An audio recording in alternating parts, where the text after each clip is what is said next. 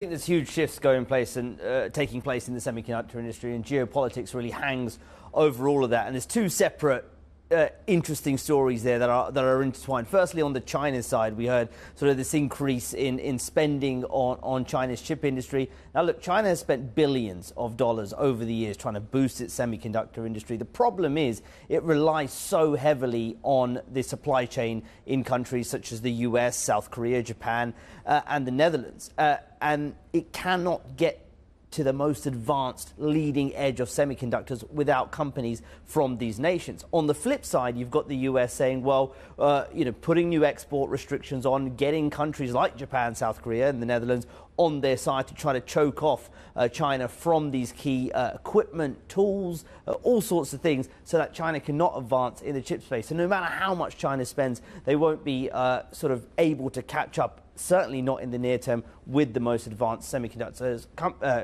companies around the world. Now, of course, this has implications for all of these companies, the likes of Samsung, uh, SK Hynix, the likes of TSMC, which have huge businesses in China as well. If these markets are cut off, uh, from these companies. There are billions of dollars of revenues for each of these companies at stake here um, as well going forward. So that is certainly uh, something that investors are watching how these geopolitics plays out and the impact ultimately uh, on these companies. You look at Samsung; they're reporting earlier this week, uh, later this week. They're expected to post their worst operating profit since the first quarter of 2009. That's partly due to the market dynamics of memory chip prices plunging, demand being low, and somewhat of a chip glut. But also, you add into the mix there if geopolitics deteriorates, if the China market is at jeopardy for Samsung, not only they're having to deal with what's happening in the chip market, but also certainly with the geopolitical factors as well.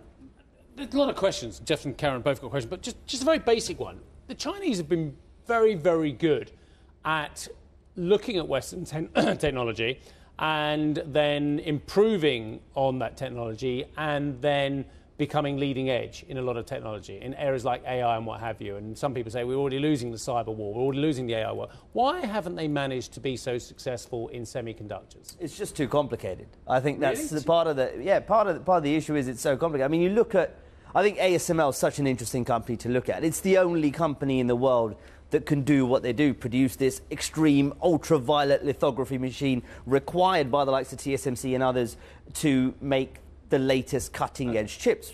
So that's a good sort of, I think, example of, of where the chip supply chain is one so concentrated, but also so complex. Why aren't there more ASMLs in this world? And I think it partly comes down to the fact this technology is so uh, so complicated. You can't just uh, it requires huge capex uh, as well to, to invest. And I think that's part of the reason uh, China hasn't managed to catch up. These Western firms have also been quite protective of their technology over the years as well. So I think uh, that, that goes somewhat to it. You have seen some advances in China in certain areas of chips, but often it's lagging technology. It's older technology where they've managed to sort of make some, some breakthroughs domestically.